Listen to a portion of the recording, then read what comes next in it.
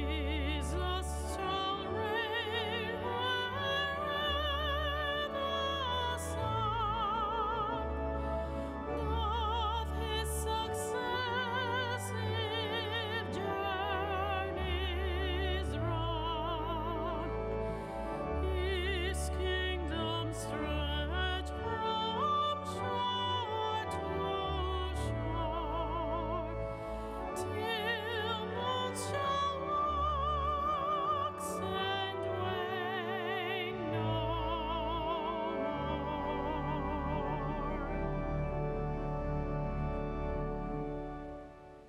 In the name of the Father, and of the Son, and of the Holy Spirit. Amen. Peace be with you. And with your spirit, Today, our Mass is offered for Vincent Avesito on the occasion of his 69th birthday. Today, as we come together, we recognize, as the readings tell us, that things pass. Life is not forever. And that when we die, we want to see God. We want to see Jesus' face. We listen carefully to the words of God today and recognize sometimes we forget that that's our final uh, end, that we are encountering Jesus himself. Let us ask the Lord's forgiveness for our sins of forgetting what our final destiny is.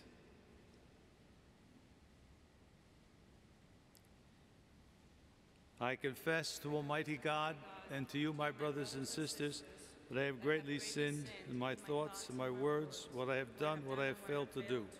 Through my fault, through my fault, through my most grievous fault. Therefore, I ask Blessed Mary, ever Virgin, all the angels and saints, and you, my brothers and sisters, to pray for me to the Lord our God. May Almighty God have mercy on us, forgive us our sins, and bring us to everlasting life.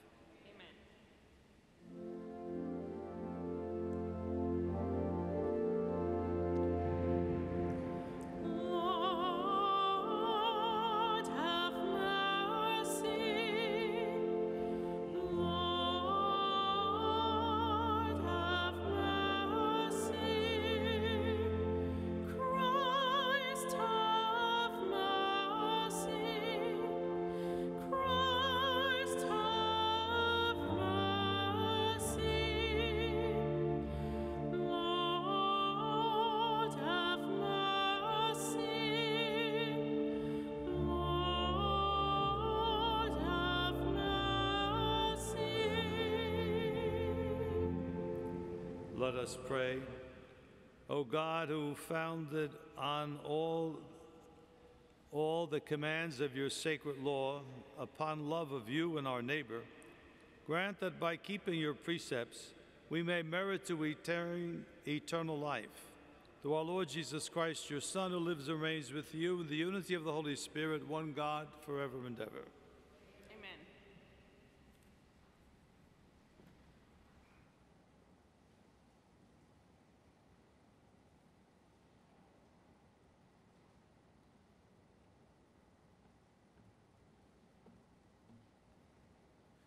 Reading from the book of Ecclesiastes. Vanity of vanities, says Qoheleth, vanity of vanities. All things are vanity.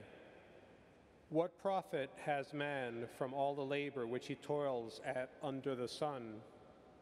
One generation passes and another comes, but the world forever stays. The sun rises and the sun goes down. Then it presses on to the place where it rises. Blowing now toward the south, then toward the north, the wind turns again and again, resuming its rounds. All rivers go to the sea, yet never does a sea become full. To the place where they go, the rivers keep on going. All speech is labored, there is nothing one can say. The eye is not satisfied with seeing, nor is the ear satisfied with hearing. What has been, that will be. What has been done, that will be done. Nothing is new under the sun. Even the thing of which we say, See, this is new, has already existed in the ages that preceded us. There is no remembrance of the men of old, nor of those to come. Will there be any remembrance among those who come after them? The word of the Lord. Responsorial Psalm In every age, O Lord, you have been our refuge. In every age, O Lord, you have been a refuge. You turn man back to dust, saying, Return, O children of men. For a thousand years in your sight are as yesterday, now that it is past, or as a watch of the night. In every age, O Lord, you have been our refuge. You make an end of them in their sleep. The next morning, they are like the changing grass, which at dawn springs up anew, but by evening wilts and fades. In every age, O Lord, you have been our refuge. Teach us to number our days aright, that we may gain wisdom of heart.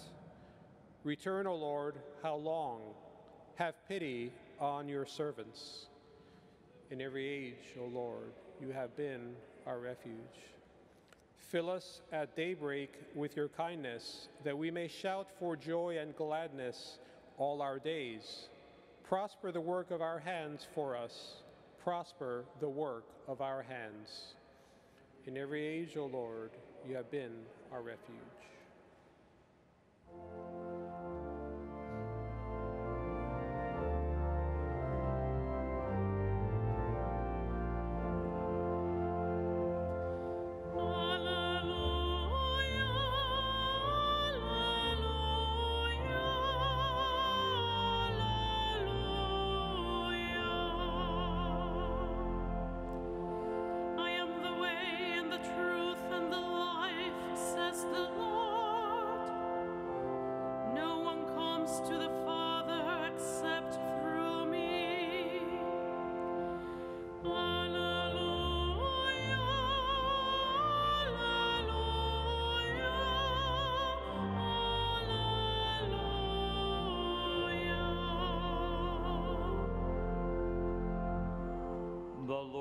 With you.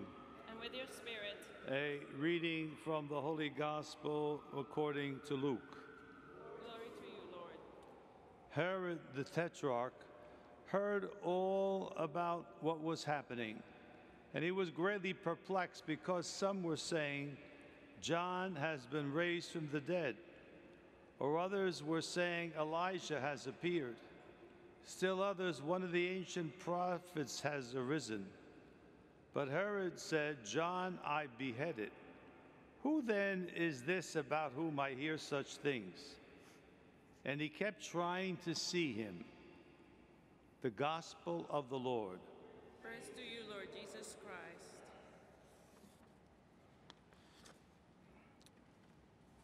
Vanity of vanities. All things are vanity. The word vanity means basically useless. And the book of Ecclesiastes uses that term over and over again, telling us that the things of this life are passing. One of the readings today perhaps describes the, the gospel. One generation passes and another comes. Herod the Tetrarch, Herod Antipas, as he was called, referred to in the gospel, wanted to see Jesus out of curiosity. He was the son of Herod the Great, who tried uh, to kill Jesus at the very beginning because the wise men had gone to visit him before they were looking for Jesus. And he said, Let me know where that child is, and I will come to worship him also. But his intention was exactly the opposite. He wanted to kill off any pretender who might be called king. And so he had all of the male children under two years of age in the vicinity of Bethlehem killed. But this was his son who presided over the death of Jesus. Remember, before, after Jesus was taken to the high priest, he was sent to Herod also, who really didn't say much to him. Jesus was silent, but he presided over carrying out what the Roman authorities did. He did not object. And so, like father, like son, like father, basically did the same thing kill off the prophets, kill off those who speak the word of God. The book of Ecclesiastes reminds us that life comes and goes, and there's nothing new under the sun. We've heard that saying before, and it comes from the book of Ecclesiastes. But it is not a static view of the world. It's rather somber, but it reminds us that this world is not the end. There's something more to hope for. And that we must make, make best use of the time allotted to us. Herod wanted to know Jesus because he heard about the miracles and that even he had raised someone from the dead. But how do we want to know Jesus? Is he a friend to us? Do we worship him as Lord? Why do we want to have a relationship with him? Are we just curious? Or is it something more essential to our spiritual life? We come today to this liturgy because we want to encounter Jesus, and we very much do in the sacrament of the Eucharist. But we must have a faith and a curiosity greater than that of Herod because the Lord is before us. Yes, he performed many miracles in his lifetime. And still, the miracles that Jesus performs are rather unseen by most. We must go beyond our human curiosity. We must deepen our relationship to the Lord Himself because He prepares us for the things that are eternal, the things that do not pass like this life does. The book of Ecclesiastes reminds us that all things are vanity, but our relationship with the Lord is not that at all. It is something that lasts forever.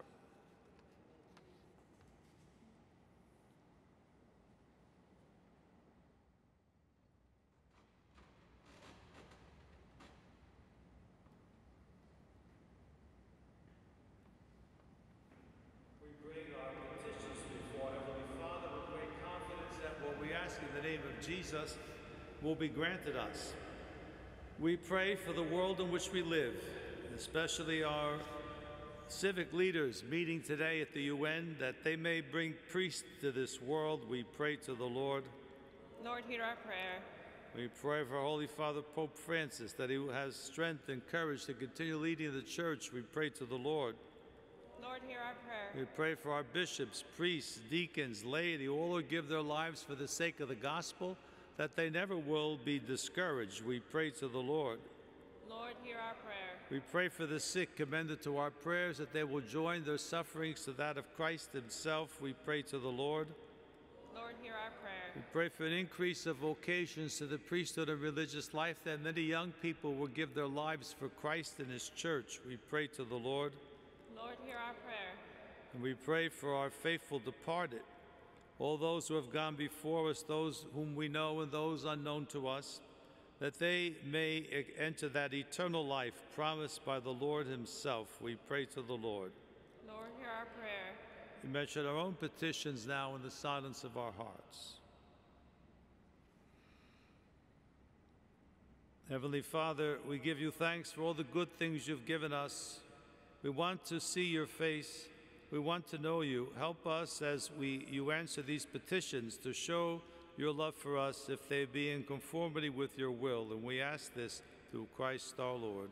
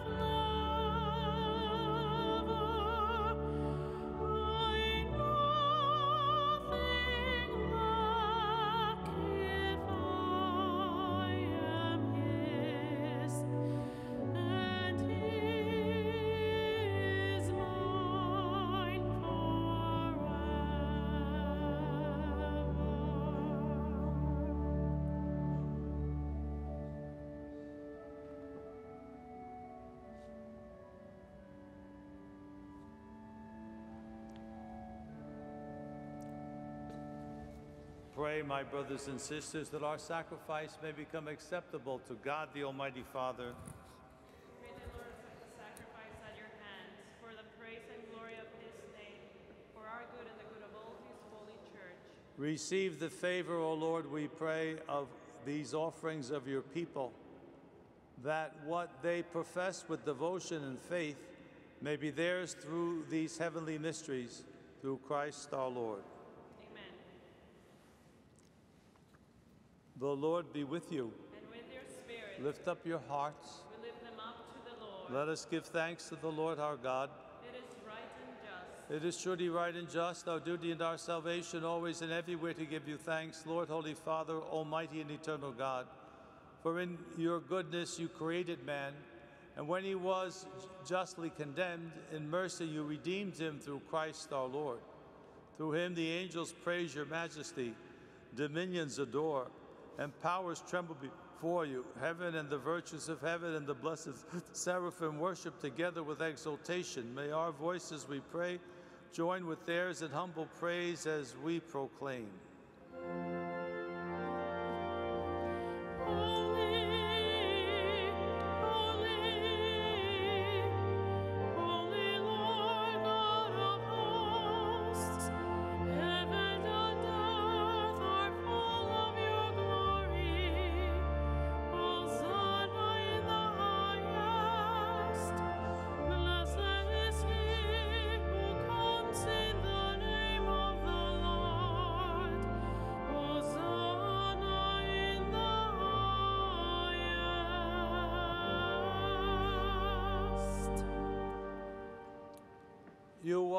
Indeed holy, O Lord, the fount of all holiness.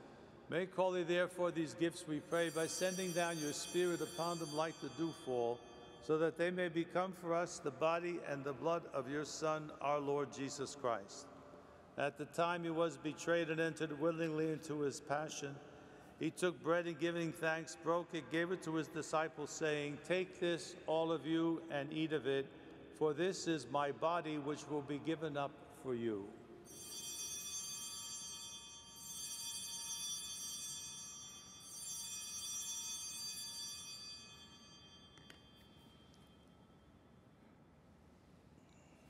A similar way, when supper was ended, he took the chalice and once more giving thanks, gave it to his disciples, saying, Take this, all of you, and drink from it. For this is the chalice of my blood, the blood of the new and eternal covenant, which will be poured out for you and for many for the forgiveness of sins. Do this in memory of me.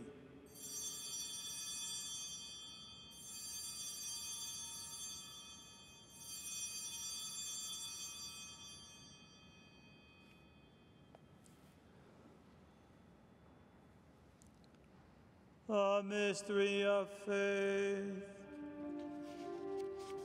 When we eat this bread and drink this cup, we proclaim your death, O Lord, until you come again. Therefore, as we celebrate the memorial of his death and resurrection, we offer you, Lord, the bread of life and the chalice of salvation, giving thanks you have held us worthy to be in your presence and minister to you. Humbly we pray that partaking of the body and the blood of Christ, we may be gathered into one by the Holy Spirit. Remember, Lord, your church spread throughout the world. Bring her to the fullness of charity, together with Francis, our Pope, Robert, our Bishop, me, your unworthy servant, and all the clergy. Remember also our brothers and sisters who have fallen asleep in the hope of the resurrection, and all who have died in your mercy. Welcome them into the light of your face. Have mercy on us all, we pray, that with the Blessed Virgin Mary, Mother of God, with the blessed apostles and all the saints who have pleased you throughout the ages, we may merit to be co heirs to eternal life, and may praise and glorify you through your Son, Jesus Christ. Through him, and with him, and in him, O God, Almighty Father, in the unity of the Holy Spirit, all glory and honor is yours forever and ever. Amen.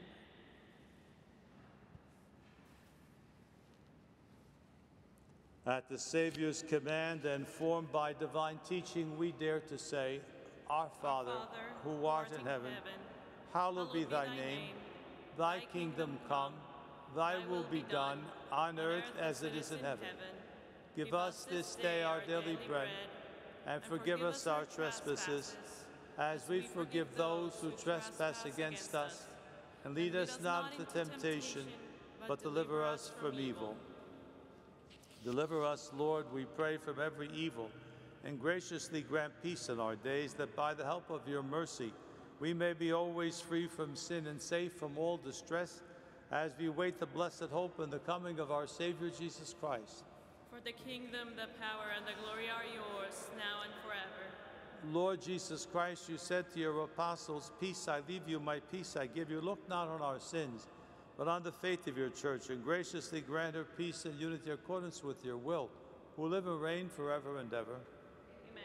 May the peace of the Lord be always with you. And with your spirit. Peace be with you.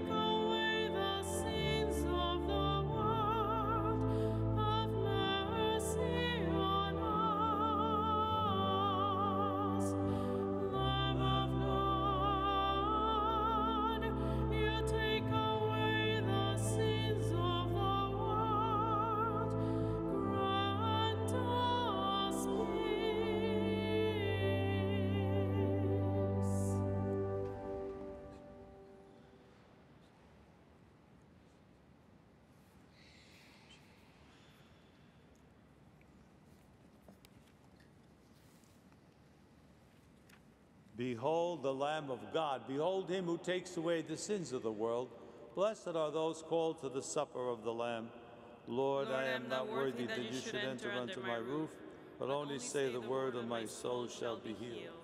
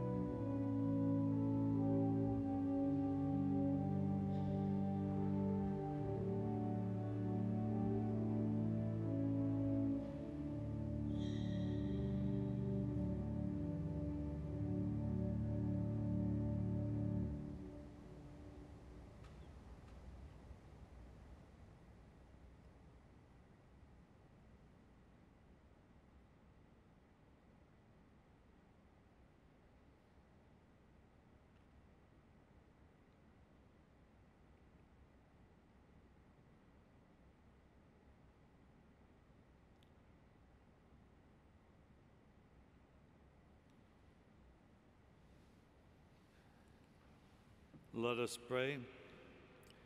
Graciously raise up, O Lord, those you renew with this sacrament, that we may come to possess your redemption, both in mystery and in the manner of our life, through Christ our Lord. Amen. The Lord be with you. And with your spirit, And may Almighty God bless you, the Father, the Son, and the Holy Spirit. amen. Go in peace.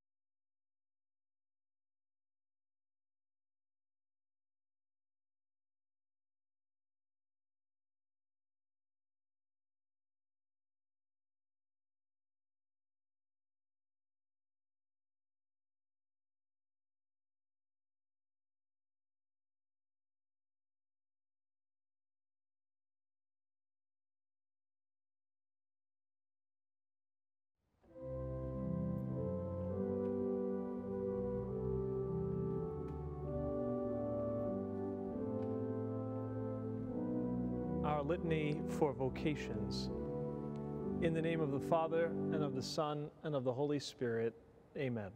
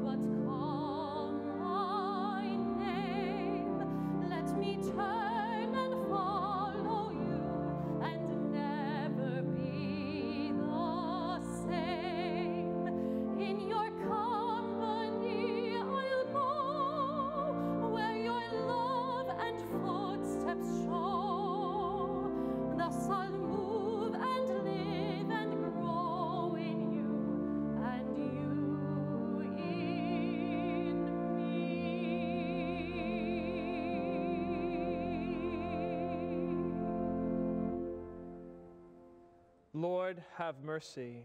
Lord, have mercy. Christ, have mercy. Christ, have mercy. Lord, have mercy. Lord, have mercy. Christ, hear us. Christ, graciously hear us. God, the Father of heaven, Have mercy on us. God, the Son, Redeemer of the world, Have mercy on us. God, the Holy Spirit, Have mercy on us.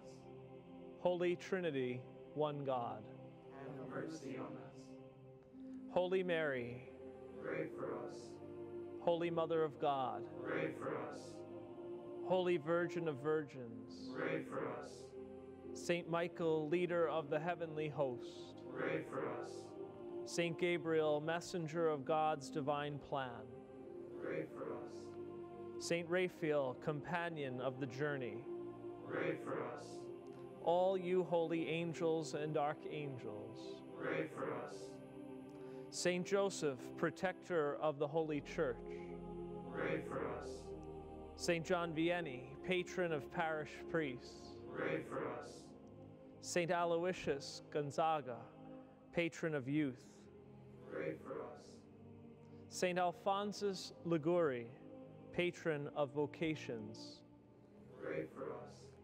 Saint Charles Borromeo, patron of seminarians, Pray for us. Saint John Berchmans, patron of altar servers, Pray for us.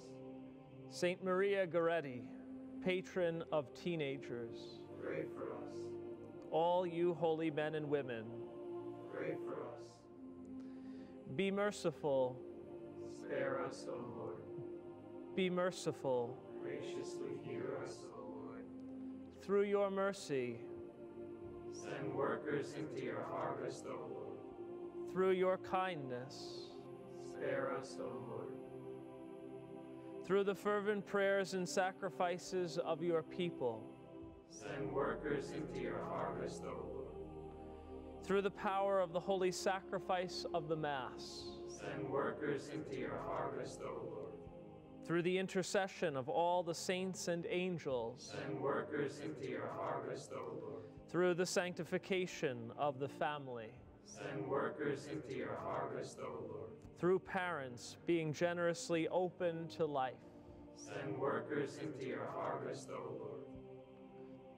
through the example of priests and religious striving for holiness, Send workers into your harvest, O Lord. Through a renewed sense of fidelity to our Catholic faith, Send workers into your harvest, O Lord. that young people might seek to live the truth of Christ, O Lord of our hearts, graciously hear us. that young people might seek God's will for them in their lives, O Lord of our hearts, graciously hear us.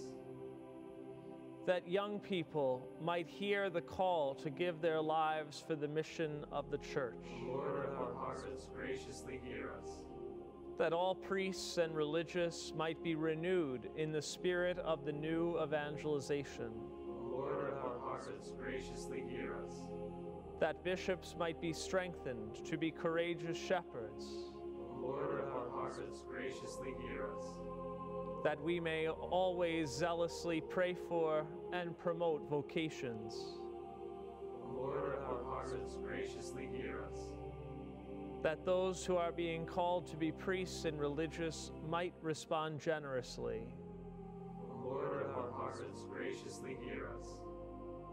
Lamb of God who takes away the sins of the world, Spare us, O Lord. Lamb of God who takes away the sins of the world, Graciously hear us, O Lord. Lamb of God who takes away the sins of the world. Have mercy on us. The harvest is great, but the laborers are few. We beg the harvest master to send out laborers for his harvest.